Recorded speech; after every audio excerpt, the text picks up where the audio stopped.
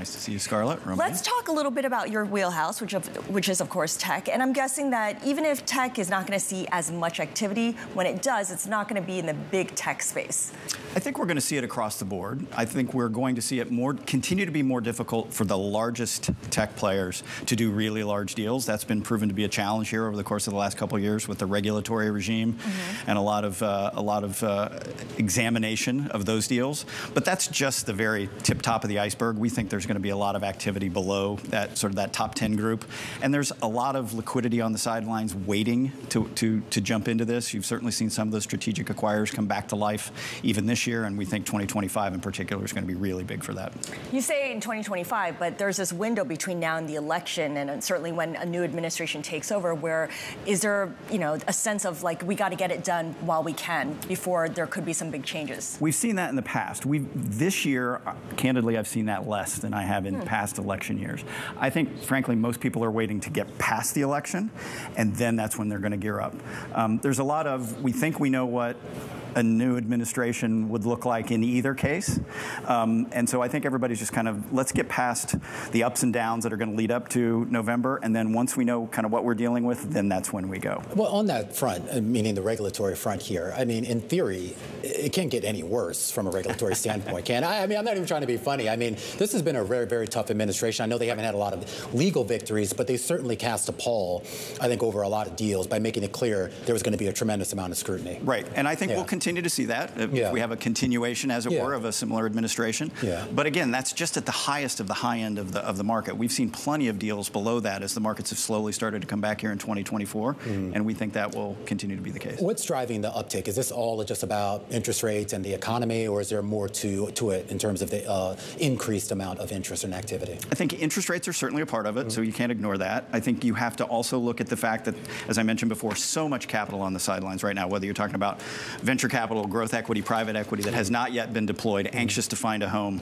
Um, and then the strategics themselves who a year or two ago, as we were not sure, are we going to have, what kind of landing are we going to have? Is it going to be no landing, crash landing, yeah. soft landing? Yeah. They were all worried about their own businesses. It's hard to pursue M&A if you don't know what your growth rate, your profitability rate is going to be. Mm. To pick up another company and then try to figure out how to meld that in is difficult. They feel better about their own businesses now, and that's giving them a more, uh, a more enhanced desire to pursue M&A. Yeah, visibility always helps. So within technology, what specific subsectors are looking most attractive in terms of takeover opportunities? Well, we're certainly, you can't talk about tech without talking about AI now, which infuses yeah. literally every aspect of tech. Um, so whether you talk about it at the semiconductor level, all the way up to the software language model level, to applications that sit on top of those, very active, and we're going to continue to see that, uh, particularly on the strategic acquirer side.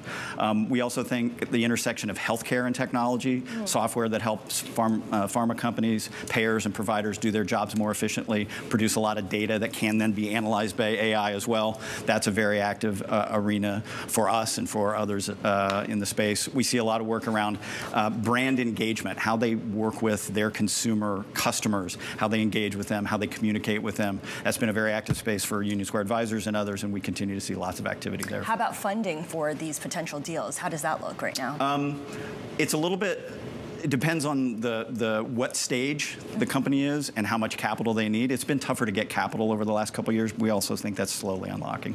Uh, when we talk, okay, that's good. I'm curious. I do want to go back to this idea of a lot of the money that's out there and that's going to be looking for a home. Uh, what gives you the confidence that that money will be used, I guess, for investment in these strategic type of deals rather than it, I guess, going someplace, I guess, for lack of a better phrase, somewhere safer?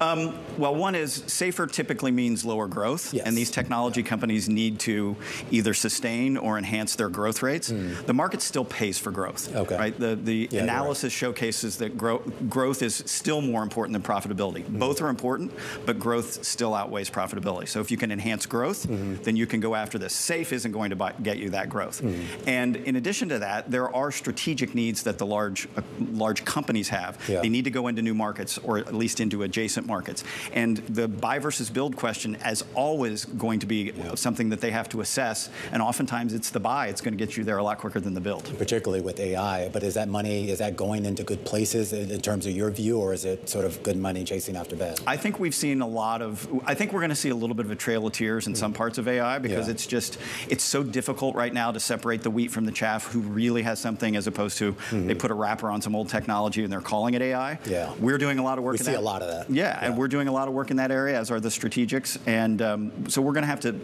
work on yeah. trying to flesh that out. But there is some great AI being yeah. built out there right now. Are you involved in OpenAI at all in terms of as an investor? No, I am not. Oh, okay. All right. Do you wish you were? I wish I'd invested in previous rounds. Absolutely. Well said. Ted, always a great conversation. Ted Smith, he's a partner and the co-founder and president of Union Square Advisors.